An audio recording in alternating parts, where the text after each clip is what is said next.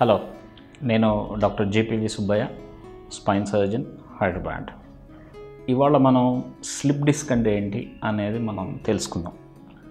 అసలు ఈ డిస్క్ అనేది ఏంటి దీని ఫంక్షన్ ఏంటి స్పైన్లో అనేది మనం చూసినట్లయితే మనం పైనుంచి కింద వరకు చూస్తే వెన్నులో బోన్స్ ఉంటాయి. వీటినే మనం వెన్నుపూసలు అంటాం అనమాట ప్రతి రెండు వెన్నుపూసల మధ్య చిన్న కుషన్ లాంటి పదార్థం ఉంటుందన్నమాట. ఈ కుషన్ లాంటి పదార్థాన్ని మనం డిస్క్ అంటాము.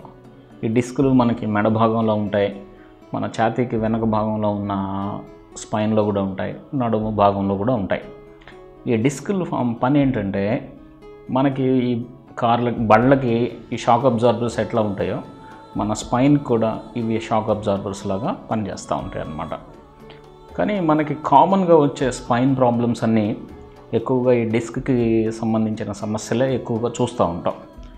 కామన్గా వచ్చే సమస్య ఏంటంటే అది స్లిప్ డిస్క్ అంటాము మేము డిస్క్ ప్రొలాప్స్ అంటాం. ఈ డిస్క్ ప్రొలాప్స్ అంటే ఏమవుతుందంటే ఈ డిస్క్ వెనక్కి జరిగి ఈ నరాల్ని ప్రెస్ చేస్తే దాన్ని మనం స్లిప్ డిస్క్ అంటాం.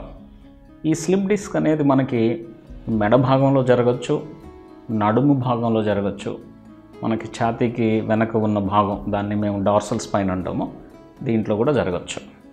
కామన్గా ఏంటంటే మనకి ఇది నడుము భాగంలో జరుగుతుంది. ఈ నడుములో నడుముని మనం యాక్చువల్గా లంబర్ స్పైన్ అంటాం. సో ఈ స్లిప్ డిస్క్ లంబర్ స్పైన్లో అయితే దీన్ని లంబార్ డిస్క్ ప్రొలాప్స్ అంటాము. అదే మెడ భాగంలో జరిగినట్లయితే ఇది సర్వైకల్ డిస్క్ ప్రొలాప్స్ అంటాము.